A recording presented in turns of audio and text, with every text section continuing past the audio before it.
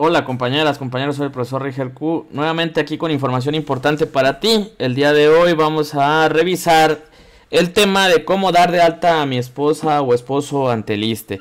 Un tema importante que debes conocer, pues una vez que con tres nupcias tu, tu cónyuge tiene derecho a, recibir el, el seguro de, de, atención médica, el seguro médico, perdón, del ISTE. ¿Verdad? Entonces debes conocer antes de que como trabajador o pensionado directo responsable ejerces el derecho que pertenece a tus familiares derechohabientes a recibir este seguro de salud, registrándolos para que reciban atención médica inmediata y digna a través de los servicios que el ISTE te ofrece. Todos los trámites de afiliación y vigencia de derechos deben ser totalmente gratuitos e indispensables para adquirir el carácter de derechohabiente y tener acceso a las clínicas y unidades de medicina familiar. Para registrar a tus familiares derechohabientes, deberás acudir a la clínica de medicina familiar que te corresponda y presentar los requisitos que te doy a conocer en un momento y de esa manera tendrán derecho a hacer uso del seguro de salud.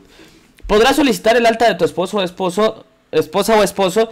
Lo que debes hacer es buscar el departamento de afiliación y vigencia de derechos de la clínica familiar que te corresponda y deberás presentar los requisitos que te presento a continuación acta de nacimiento de la esposa o esposo, original y copia, la original para cotejar, acta de matrimonio reciente que no sea mayor a seis meses de su expedición, original y copia, dos fotos tamaño infantil recientes para que sean integradas a al carnet, eh, la copia actualizada de tu esposo o esposa puede ser impresa de internet, así como también la copia de comprobante de pago eh, y este puede ser impreso de mi portal Fone para que lo puedas descargar y lo puedas imprimir.